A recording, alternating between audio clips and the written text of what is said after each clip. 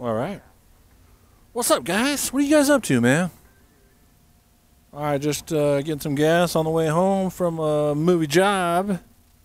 Thought I'd fire up the camera and just say, "What's up, man? What you guys doing? All right, how you guys doing? All right." Anyway, uh, I was watching the Dodger game yesterday, opening day at the old Chavez Ravine. If you guys follow me on Instagram, you would have saw my uh, Instagram post on the gram there. I posted a doggone video of uh, Dodger Stadium on opening day 2019. How about that? Anyway, uh, it was pretty cool, dude. Eight homers, man. Oh, Kike Hernandez, and we had a belly bomb in there, and Joc Pederson, dude. I mean, they were all all the bats were alive, baby. Uh, yeah, give me a receipt. Uh, so that was pretty exciting. But there's one thing, dude. Uh, I noticed. I don't know if you guys picked up on this. They were talking about, uh, you know, like Kershaw's injury and stuff, his sore, sore, sore, sore shoulder, and they were like, yeah, uh, you know, he may or may not go on the uh, IL, and they kept saying IL, and I hadn't heard, or I guess I did, but I didn't really notice. But they were saying IL instead of DL. So I Googled it today. I'm like, what is this IL injured list as opposed to DL for disabled list? And sure enough, man, they changed it because, you know, I guess maybe disabled disabled is offensive or disabled list is for some reason they changed it because they're like now you know you're basically you're saying if you're disabled then you can't play sports you know and it's not right for the people who have disabilities. They're saying, oh, if you have a disability, uh, you can't play sports. No, that's not what it means, people. Since 1966, since 1966, the MLB has used DL as in disabled list uh, to reference a player who has an injury who cannot temporarily cannot play the sport of baseball. He's not on the roster. He's not, you know, playing until he heals up. That's what it means. It has nothing to do with, you know, with persons with disabilities. That's a stretch. Come on, I get it. I'm sympathetic to people with disabilities, man. I'm a huge supporter of the ADA. Americans with Disabilities Act, uh, for those of you that didn't know. Yeah, come on come on, we get it. There's people with disabilities, and you know, I am a strong supporter of uh, of all that. You know, Special Olympics and all that stuff. Okay, come on. I'm not saying that at all. And neither is the Major League Baseball, dude. They're just saying a player was injured. Okay, it's got no one has nothing to do with the other. Yet they changed it to injured list, IL. Oh, that player's on the IL. I mean, it's just semantics. It's just a word, but it's just like, God, dude, what else is going to be offensive? Every day there's something new that's offensive. Every single day. Oh, I'm offended. Oh man, those poppies? I think these are poppies. Hey, those are poppies. There's poppies on the 60 freeway. Look at that.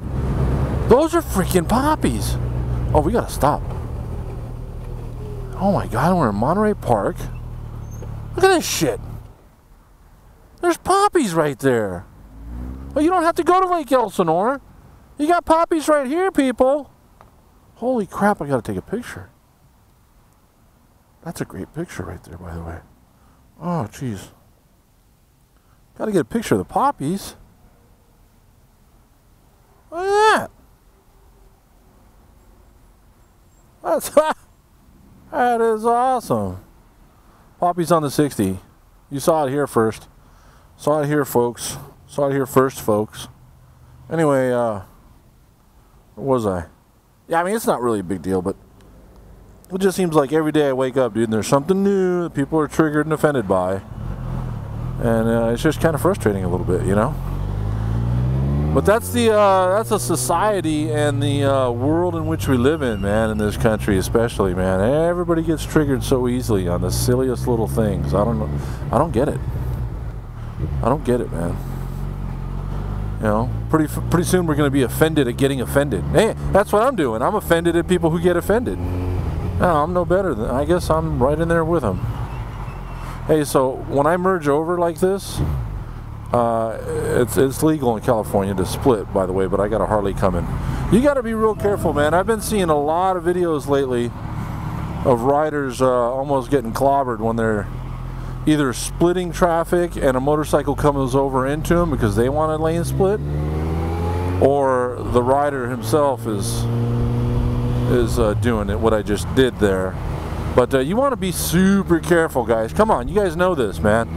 When you're switching over in heavy traffic like this, and you just got on the freeway or you just pulled out into traffic after taking pictures of of uh, the poppies along the 60 freeway there and um, Monterey Park, and you're pulling out into traffic, you know, be sure to give it a good head good head check if you have to you know. Usually I like to be a big proponent of that.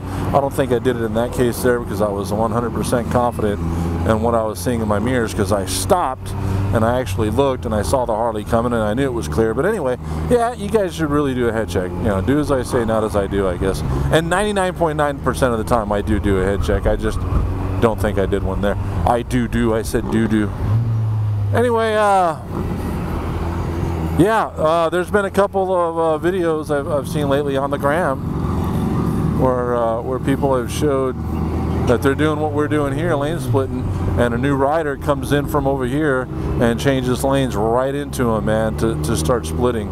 And uh, we got to watch out for each other, man. You know, these drivers usually, he is, but these drivers usually aren't watching out for us, man. So if we ain't to watch out for each other, who is, you know? So just be careful, that's all. That is all. And uh, what else, man? Yeah, the knee is uh, jacked up. Uh, the knee is definitely tore up from the floor up. Uh, so if you've been following along again on the gram, if you're not following on the gram, I'm telling you, you're missing out on a lot of stuff, guys. Come on, you got to follow me on the gram, baby.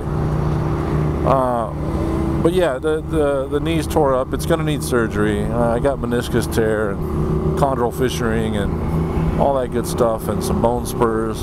So, uh, but we're going to do that later on. We'll definitely do it after SCMM 2019, which is in late August this year. More info on that to come in future videos. But, uh, uh, I mean, it's feeling better, but it's not going to get, it's not going to fix itself, you know. But uh, I've been stretching it and kind of doing a little therapy on it and stuff like that. So, um, now I'm back to work. I'm not off work, as you can tell. But, uh, but yeah, thanks for the support. You let me by, buddy? Thanks, buddy. Thanks, man. Um, what else? What else? I guess that's it, man. I don't know. I'll let you guys go. I won't keep it. Oh, man. Oh, it's the Wally, the Hawali. Anyway, um, yeah, I guess that's it, man. I'm kind of rambling. Traffic tends to do that to me, man. When I'm when I'm stuck in traffic like this, it kind of makes me kind of a little chatterbox, man, a little chatty Cathy. But oh, see, like this guy, you gotta watch him, dude. he's thinking about coming over. I'm gonna tell him two. I hold up two fingers to let him know, not the peace sign, but I hold up two fingers to let him let him know there's another rider behind me. There's two of us. All right, guys. I'll get on home. I'll let you guys go, man. But uh, I'll talk to you real soon, man. Next one, uh, next one hopefully will come shortly, soon to follow. You know what I mean? But until then, you guys watch your six. Be good humans. I'll watch you. Oh, I messed that up. Be good humans. Watch your six. See you on the next one. Whatever, dude. I'm rusty. What do you want from me? All right, later.